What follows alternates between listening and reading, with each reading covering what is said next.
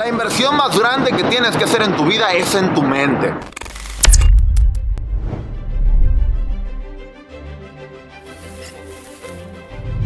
La mayoría de la gente hacemos inversiones en cosas que realmente no son necesarias en la vida. Hacemos inversiones ya sea en ropa, en carros, en casas, y en música, en entretenimientos, pero no hacemos inversiones en la mente.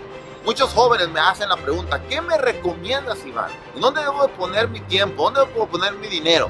Y muchos de ellos realmente lo, lo que quieren hacer es comprar carros y comprar un estilo de vida. Y todo eso es muy bonito. Pero lo que tienes que entender es que te pueden robar las joyas, te pueden robar los relojes, te pueden robar los, los, zapatos, te pueden robar la cartera, te pueden robar todo. Pero lo que nadie nunca te puede robar es la mente, es el conocimiento, es el tener la, ahora sí la información correcta. Porque siempre que pase que te puedas quedar sin dinero o puedes romper algún negocio, no te preocupes si tienes la mente rica, si tienes riqueza mental, siempre vas a tener riqueza financiera, siempre puedes tener riqueza emocional.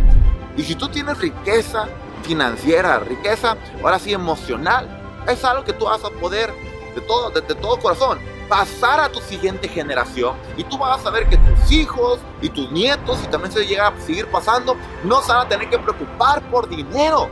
Pero si comprendes esos principios, te invierte muchísimo más todo tu bolsillo en tu mente para que tu mente siempre esté cuidando de tus bolsillos y esté cuidando de tu riqueza generacional.